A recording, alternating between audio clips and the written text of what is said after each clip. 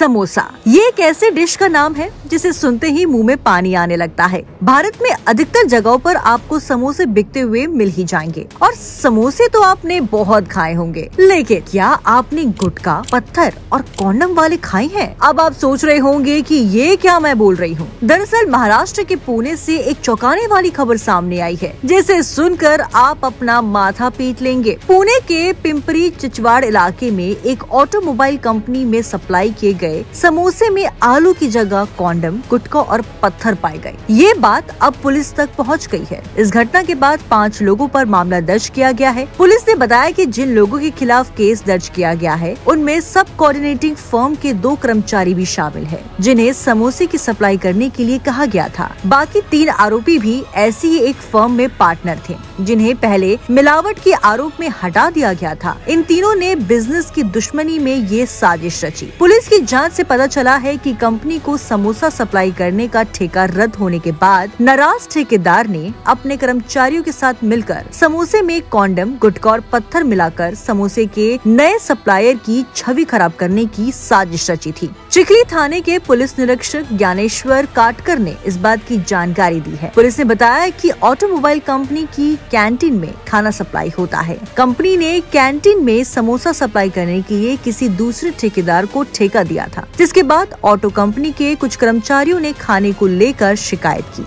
कर्मचारियों ने बताया कि समोसा में कॉन्डम गुटका और पत्थर पाए गए हैं। इस शिकायत के बाद पुलिस ने मामला दर्ज कर पाँच आरोपियों को गिरफ़्तार कर आगे की कार्रवाई में जुट गई है। जिन पाँच लोगों के खिलाफ शिकायत दर्ज की गई है, उनमें एस आर एंटरप्राइजेस के मालिक रहीम शेख, अजहर शेख, मजहर शेख, कर्मचारी फिरोज शेख और विकी शेख शामिल है। चिखली पुलिस स्टेशन में सीआरपीसी की धारा 328, 120 बी के तहत मामला दर्ज किया गया है।